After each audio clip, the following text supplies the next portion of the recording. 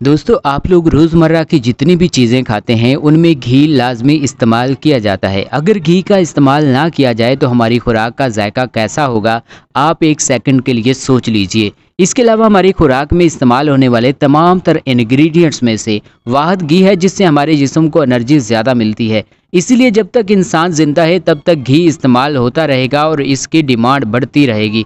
चाहे ये आटे या गंदम जितना महँगा ही क्यों ना हो जाए। तो आज की इस वीडियो में हम आप लोगों को एक ऐसी मशीन के बारे में मुकम्मल मालूम देंगे कि जिससे आप लोग डालडा घी बनाकर अपने ही घर में एक बड़ी फैक्ट्री बना सकेंगे।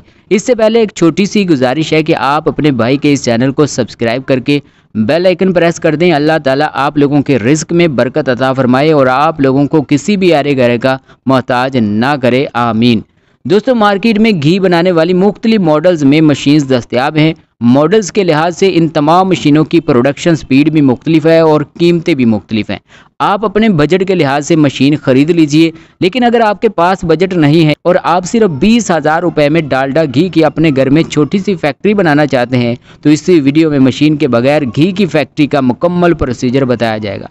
अब हम बात करते हैं कि घी बनाने के बिज़नेस में आप लोगों को किन किन चीज़ों की ज़रूरत पड़ेगी। रॉ मटेरियल्स कौन से इस्तेमाल किए जाएँगे और मशीनें आप लोगों को कहाँ से, कितने की और कैसे मिलेंगी, यहाँ पर अगेन आप लोगों से रिक्वेस्ट कर रहा हूँ कि इस वीडियो को लाइक कर दें और चैनल को सब्सक्राइब करके बेल आइकन प्रेस कर दें।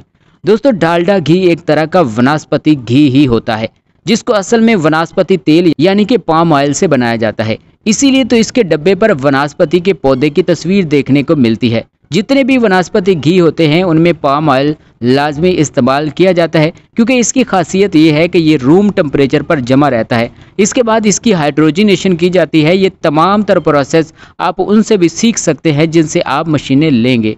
लेकिन अगर आपके पास सिर्फ़ बीस हज़ार रुपए है तो आइए आपको कम पैसों से शुरू होने वाली घी की फैक्ट्री का तरीकाकार बताता हूँ।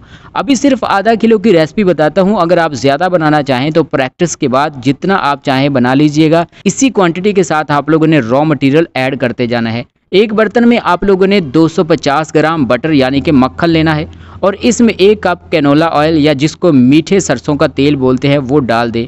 या पाम ऑयल भी आप लोग डाल सकते हैं। इसके बाद इसको हल्का सा गर्म कर दे ताकि इसके अंदर बटर पिघल जाए। उबालना नहीं है। जब ये पिघल जाए तो इसको अच्छी तरह मिक्स कर दें। लो जी, आपका बेहतरीन और खुशबूदार डालडा घी तैयार है। अब आप इसको पैक करें और सेल कर दें। घी का बिज़नेस शुरू करने से पहले गवर्नमेंट से लाइसेंस वगैरह की भी इन्फॉर्मेशन लाजमी ले लीजिएगा। दोस्तों, उम्मीद करते हैं आप लोगों को आज की यह बेहतरीन वीडियो पसंद आई होगी। मजीद ऐसे बिज़नेस आइडियाज़ बर वक्त हासिल करने के लिए चैनल को सब्सक्राइब करना मत भूलिए। वीडियो देखने के लिए थैंक यू सो मच